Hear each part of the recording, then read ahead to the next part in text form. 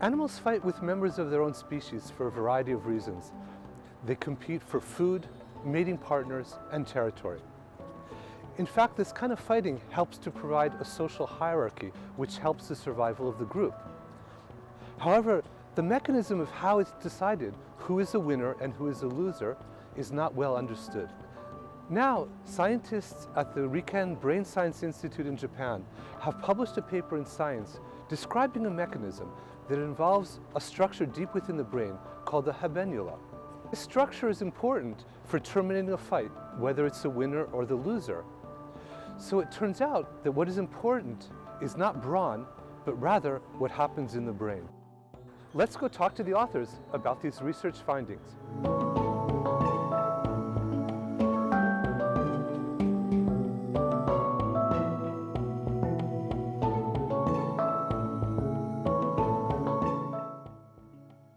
They decided to focus on an animal called the zebrafish, which is actually a common pet. Zebrafish have become popular model animals in neuroscience. It's easy to make genetically modified animals, and they're also transparent. And very importantly for this study, the males like to fight.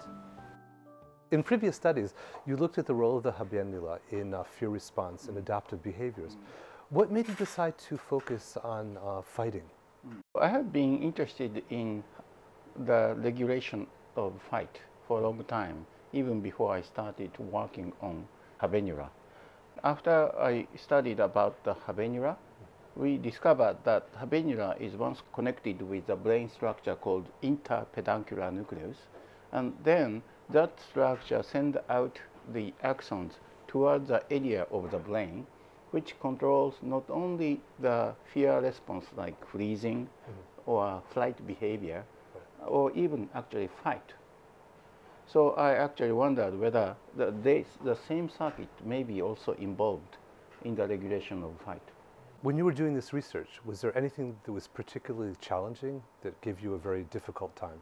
Uh, first of all, none except me suspected that habenula is actually involved in the regulation of fight. So I had to persuade my colleagues, especially postdoc Min Yi, uh, to work on this subject. So Min Yi luckily showed interest.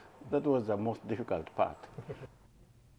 At the beginning, we don't know the role of the habenula in fighting behavior because nobody mentioned about this circuit is involved in the aggressive behavior. Therefore, we start to study the role of the different part of habenula in the regulation of the fighting behavior. When we put two male fish into the small tank, they first display each other, then swim in circle for a while, and start to attack by biting until winner-loser determination. Usually, the fight terminates within 10 minutes. After winner and loser determination, the winner usually swim freely in the upper part of the tank. In contrast, the loser stay quiet at the bottom part. In fish, the habenula can be divided into two parts, the dorsal part and the ventral part. The dorsal habenula send the information to the structure called interpeduncular nucleus, while the ventral habenula send the information to the median raphe. The dorsal habenula can be further divided into two parts, the lateral and the medial. They are connecting to the different part of IPN, the lateral to the dorsal, the medial to the ventral. We found that the lateral circuit is preferentially activated in the winner fish, while the medial circuit is preferentially activated in a fish. When the lateral circuit is genetically inactivated, the fish tend to lose. In contrast, when the medial circuit is inactivated, the fish tend to win.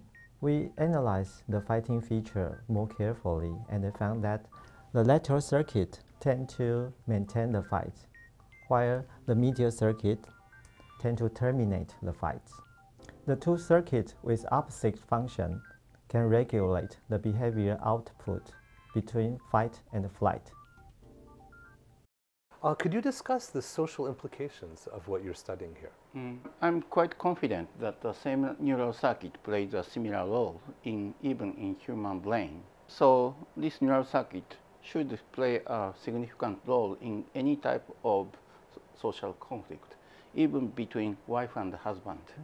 So why husband always surrender to the wife? Maybe controlling this neural circuit. Yes, it sounds like a good uh, subject for, for example, for sociology even. Yeah. Or political science maybe could. Yeah. Any conflict has to be uh, seized at some point by uh, the concession of both parties. And uh, so if we actually we know the principle of how we actually make a concession by the brain mechanism, it may also contribute to the solution of some kind of conflict. What do you plan to do in the future? Do you have future ideas for mm.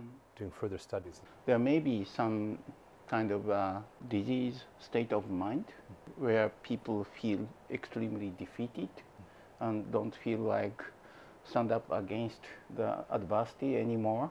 We are wondering whether that state of mind may be caused by some abnormal functioning of the habenula.